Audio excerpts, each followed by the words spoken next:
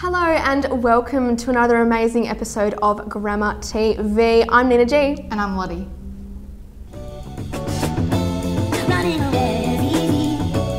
It's the living that's hard. And loving you was easy. It was you leaving it's hard. On Saturday, the 16th of August, the school gala day was held here at the senior campus. There are some lovely performances from our talented music students and some great stalls to visit. Here's Lily, Lola, and Nina. On the 16th of October 2021, our 175th anniversary gala day was held at the senior campus. This was followed by a ball at the Albert Hall that some of our parents attended.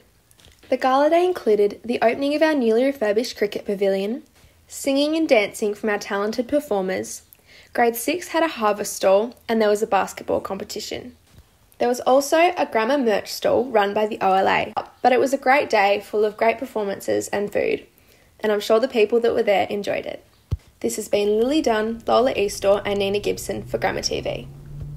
It was nice weather and great food. Have you watched The Office Snoots? Uh, I think the British one's better, but which one are you talking about? The American one. Yeah. Uh, here's a parody done by Lockie Smith, Smell, Snell, and Toby McGee. Why am I here? Well, commerce didn't quite work out, so um, here I am.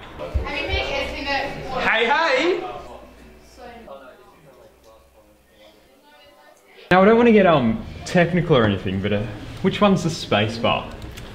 It's right there. Oh, I see. It's kind of hidden away there. What am I doing? I'm editing a segment for Grammar TV. What do I think of who? T- Toby. Oh, that new guy. You know, you need kind of like a graphic or something up there. You mean one of these? No, no, no. You need like a name card. He's trying. Josh? Oh, he's great. I've really taken him under my wing. You know, there's a lot of mutual respect going on. Now that, in there, that's where the magic happens. Oh, What are you doing? I'm giving a tour of the office. Um, go help Hayden edit right now. Fine. I'm going to get a drink. Can you please save this? Is he gone? All right, let's see what I can do. Oh no. I just deleted everything.